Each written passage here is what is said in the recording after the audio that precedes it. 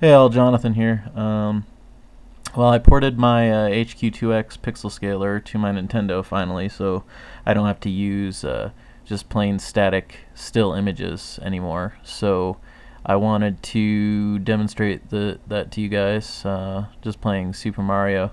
So uh, the pixel scaler is off right now, uh, and I will turn it on now.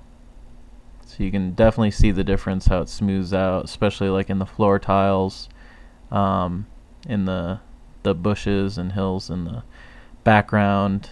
Um, and if I turn it off, you can see the pixelation. I mean, it, it's it's literally the output is identical to um, the HQ2X pixel scalers and any software emulator that supports it.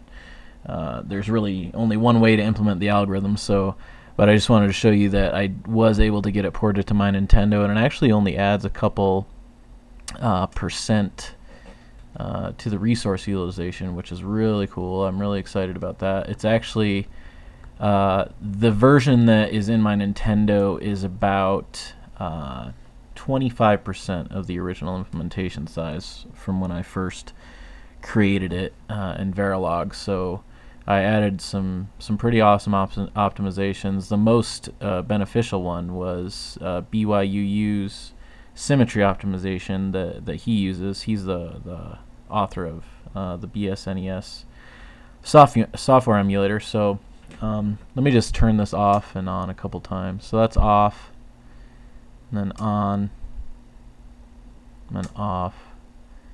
It just it looks amazing. I'm so impressed with the with the HQ2X algorithm. It's really cool.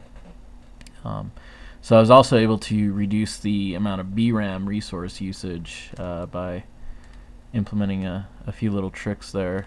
Um, so all, all I'm doing when I'm turning it off is flipping a little dip switch because uh, I know there's purists out there that don't like to have their have their image anti-aliased and scaled and they like the pixely stuff so I just have a little dip switch that you can turn on and off and eventually I'll add that so that you can control it. Also control it over the the GUI interface um, the Qt interface that I have so. But uh, I think that's about it. I'll talk to you guys later. Bye